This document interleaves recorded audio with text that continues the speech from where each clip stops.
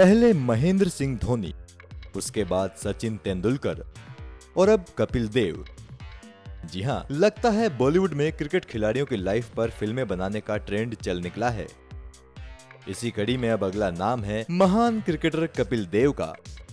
M S Dhoni, the untold story और Sachin a billion dreams की सफलता के बाद बॉलीवुड अब कपिल देव की बायोग्राफी बनाने की तैयारी कर रहा है। अनुराग कश्यप की फैंटम फिल्म्स और सेलिब्रिटी क्रिकेट लीग के फाउंडर विष्णु इंदूरी उन्नीस वर्ल्ड कप लाने वाली टीम इंडिया की जर्नी पर एक बायोपिक बनाने जा रहे हैं। दोनों कंपनियों ने ऑफिशियल बायोपिक बनाने के लिए उन्नीस सौ तिरासी वर्ल्ड कप टीम के साथ एमओयू साइन किया है।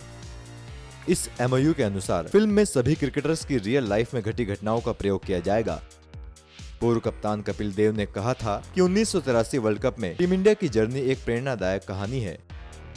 फ़िल्म में कपिल देव की भूमिका के लिए एक्टर रणवीर सिंह का नाम आगे चल रहा है। लॉर्ड्स के मैदान पर खेले गए फाइनल मैच में कपिल देव ने अपनी कप्तानी से वेस्टइंडीज को हराकर पहली बार भारत को विश्व कप दिलाया था। इस जीत के बाद भारतीय क्रिकेट का एक नया दौर शुरू हुआ था, जिसमें टीम इंडिया एक बड़ी टीम बनकर उभरी थी। स्पोर्ट्स आर की रिपोर्ट।